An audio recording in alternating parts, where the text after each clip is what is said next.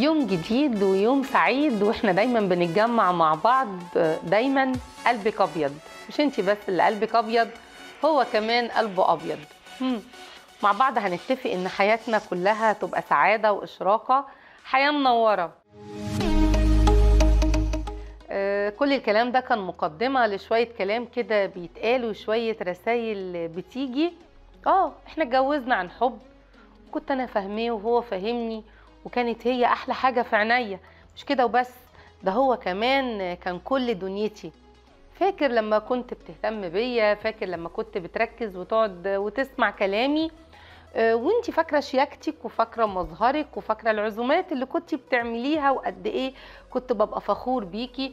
فاكرة اهتمامك بيا؟ آه، دلوقتي ما بتعمليش كده. دلوقتي انت مركزة مع الولاد دلوقتي ما بقيتيش تهتمي بنفسك زي بالظبط ما بيحصل في المسلسلات والدراما. بقيتي تهملي حتى ان انت تصحي الصبح وتحضري لي الفطار وانت كمان راجع من الشغل تعبان ما بقتش تقعد تتكلم معايا ما بقتش تخطط ان إحنا هنقضي إزاي الأجازة بتاعتنا سوا مع بعض. هو بيشتكي وهي بتشتكي. انت ما بقتش زي الأول وهو انت كمان ما بقتيش زي الأول. مش انت الإنسانة اللي أنا اخترتها. لا ده العجلة جريت بسرعة قوي.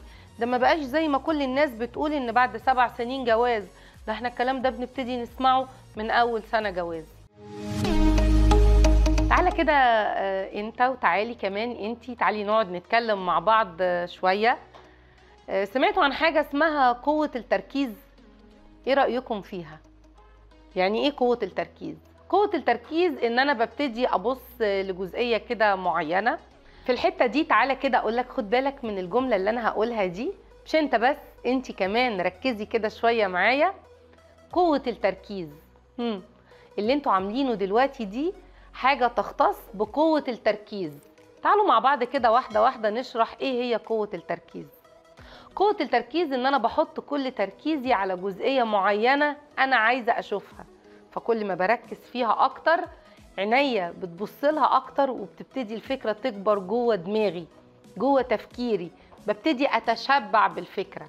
يعني أنا مركزة إن أنت بتحبني إن أنت بتهتم بيا قد إيه الهدية البسيطة اللي أنت جبتها لي دي حاجة كبيرة وحاجة مهمة تدل على إن أنت اهتميت بيا وفكرت فيا وأنا مش موجودة واهتميت إن أنت تيجي تجيبها لي. شفتوا الجمل دي كلها كل الجمل دي نتيجة تركيزي. جمل زيادة أنا عمالة أزودها جوه دماغي وجوه تفكيري. مش انت بس اللي بتعملي كده انت كمان. دي اتصلت اطمنت عليا الكلام ده وإحنا أيام الخطوبة أو في بداية حياتنا الزوجية. ده هي شاغله بالها بيا ده هي ركزت في وسط الكلام قالت لي كلت أو ما كلتش عملت إيه في شغلك هتيجي إمتى؟ قوة تركيز. بمعنى أصح أنا حابة أبص للحاجة الحلوة. مم. حابة أبص لها وأكبرها قدام عينيا. الحاجات دي على فكرة ما زالت موجودة. ممكن تكون موجودة بشوية مؤثرات لضغوط الحياة. أنا اتصلت بيه اطمنت عليه هو عامل إيه في شغله. بس إحنا كمان بقى عندنا أسرة وبقى عندنا بيت وبقى عندنا أولاد. فبدأت في وسط الحوار أقول إيه إحنا عايزين كذا وكذا وكذا هتجيبه لنا وأنت جاي. إحنا عندنا المشوار الفلاني أو الولد محتاج كذا أو البنت محتاجة كذا أو عندنا الزيارة الفلانية.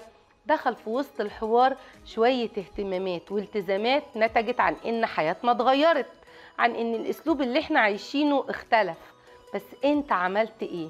أنت نسيت الهدف من المكالمة إن هي بتلجأ لك أو بتكلمك أو بتشاركك وركزت في الطلبات اللي هي عايزاها. هو ده قصدي من قوة التركيز. وأنت بتركز بطل تركز على السلبيات عشان ما تفضلش تكبر قدام عينيك. ركز أكتر في الإيجابيات ركز أكتر في الحاجات الحلوة كبرها قدام عينيك. طب والحاجات الوحشة؟ خليني أمررها بسرعة. أقولها وأنا بجري وأنا بخطف خطوتي. هقولها عشان ألفت نظر الطرف اللي قدامي عشان هو كمان يغير منها. بلاش أفضل أركز عليها. بلاش كل شوية أقول نفس السلبيات دي وأنا بتكلم مع زميلي في الشغل أو أنا بتكلم مع صاحبتي وأنا بتكلم مع والدتي وأنا عمالة أحكي لأخويا أو أختي كل ما عقلي عمال يسمعها عمال هو كمان يركز فيها أكتر. عرفنا قوة التركيز؟